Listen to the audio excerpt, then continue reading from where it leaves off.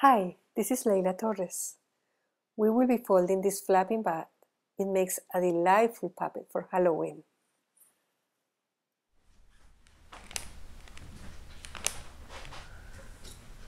We have to use a 10 by 10 piece of paper. Uh, it has to be thin and firm. Like in this case, I have kami paper.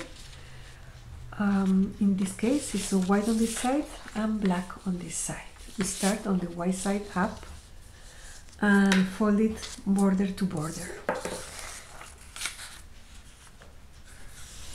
In a half, open, bring one border to the center, rotate, bring the other border to the center, make your crease sharp. Now each one of these corners we're going to bring it so that this row border aligns with the center. I leave a little bit of a space like a hair to make sure that the paper doesn't get caught when I fold back. So the other corner and leave a little gap here. Very small gap. Proceed to do the same with the other corner. Again leaving a little gap here in the center so that when we fold this way paper doesn't get caught there now we are going to make um, central crease just about here. It's going to be in the center and only a fraction of the whole length. And we are going to do this crease by bringing this border to this border.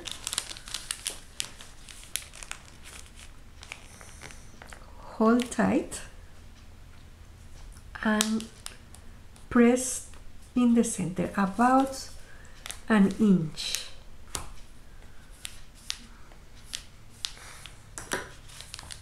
And fold. You have a valley fold there.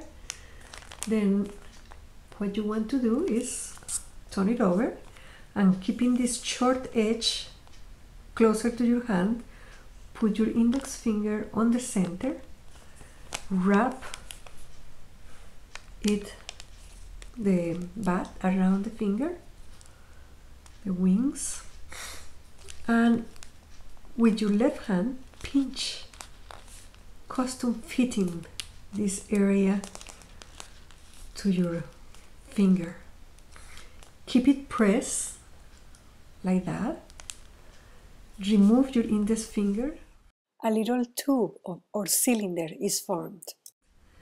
And press this area this fold that we did previously, press it in. You can then help the two, the sides a little bit and that's what you want to get.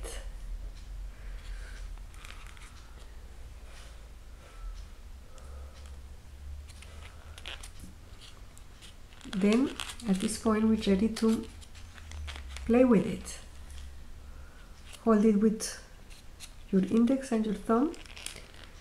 And once you're ready, uh, ready to let go press your fingers together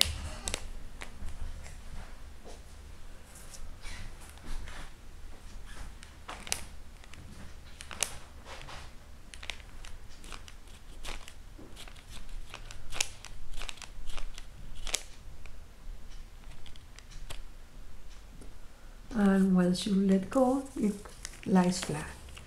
If you want to play with it again again wrap it around your finger fold the wings together hold with your left hand press the little mark and play.